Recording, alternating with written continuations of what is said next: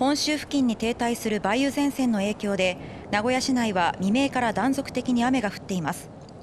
前線に向かって暖かく湿った空気が入るため東海地方は大気の状態が非常に不安定になり明日明け方から昼前にかけて雷を伴った激しい雨の降るところがある見込みです。24時間予想雨量はいずれも多いところで愛知県で80ミリ岐阜県で60ミリ三重県で100ミリの見込みで予想より雨雲が発達し停滞した場合は警報級の大雨になる恐れがあります。気象台は土砂災害や河川の増水などに注意を呼びかけています。